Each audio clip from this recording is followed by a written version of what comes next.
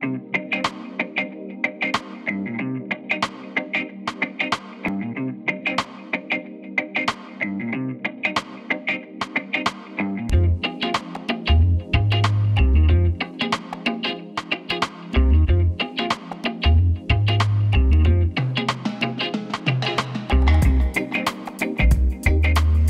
political campaign was the first to use social media uh, in my country. It was in uh, 2009.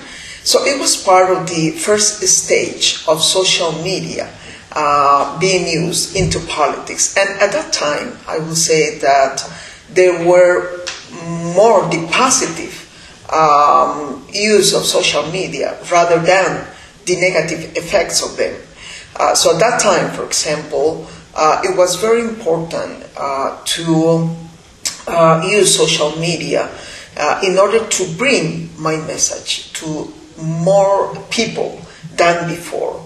Uh, at the same time, we were able not only to bring our message, but also to listen to the people. It was a kind of two ways communication. so we had the opportunity, as never before, to interact with citizens, uh, to know about their concerns, um, to take some of the ideas they had and to uh, add those ideas uh, to our political platform. So, in general terms, I would say that it was a very, very good experience.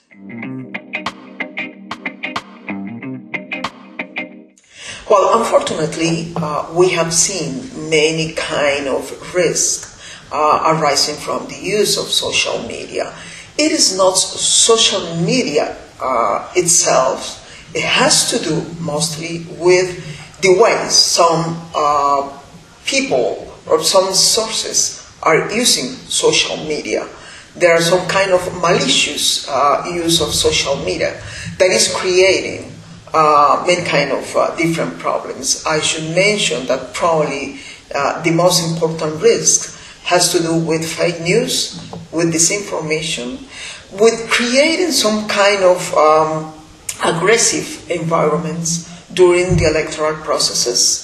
But also, we have seen in some elections, for example, in Latin America, but not only in Latin America, also during the political campaign in the United States, how um, some sources use social media uh, to um, delegitimate the role of the electoral authorities, uh, trying to suggest that there were going to be kind of uh, um, uh, fraudulent uh, events, trying to suggest that there was going to be a kind of rigged elections if the results were not going to favor one candidate so what we see is that social media is not only being used in a traditional way to, for example, contrast the ideas among the candidates, but also uh, to spread um, disinformation and to affect the credibility of the electoral authorities.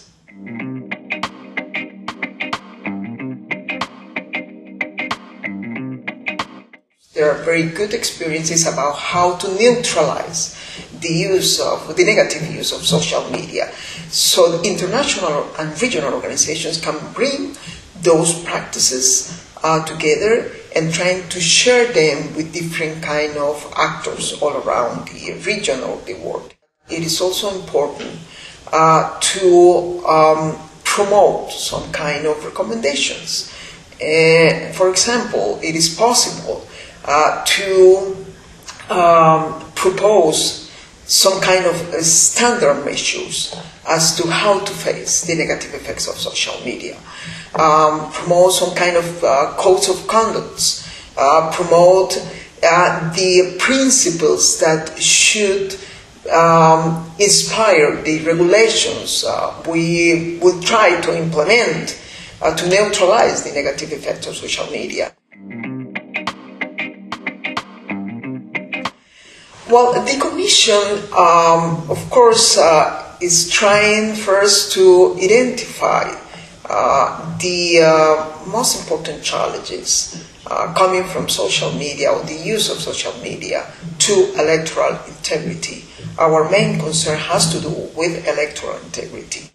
Something I should say is that uh, since we have noticed that most of the discussion is taking place in the global north, I mean, most of the recommendations and the experiences uh, are coming from uh, the developed countries.